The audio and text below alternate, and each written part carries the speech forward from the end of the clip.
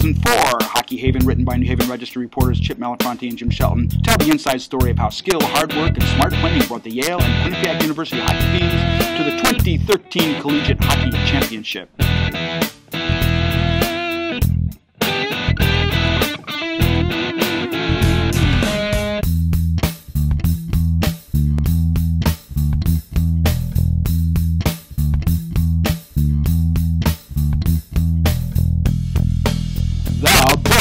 Book Haven on sale now at newhavenregister.com.